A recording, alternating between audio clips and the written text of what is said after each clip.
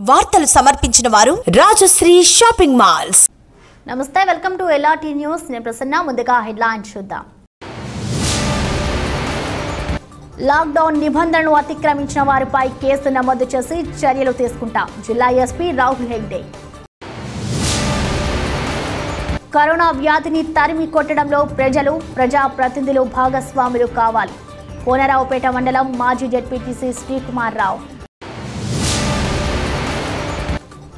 ముఖ్యమంత్రి సహాయ నిధి చెక్లను లబ్ధిదారులకు అందజేసిన చొప్పదండి ఎమ్మెల్యే శృంగేర్ రవిశంకర్. లాక్డౌన్ నిబంధనలు అతిక్రమిస్తే కఠిన చర్యలు తప్పవు. Vemulawada rural CI Bansilal.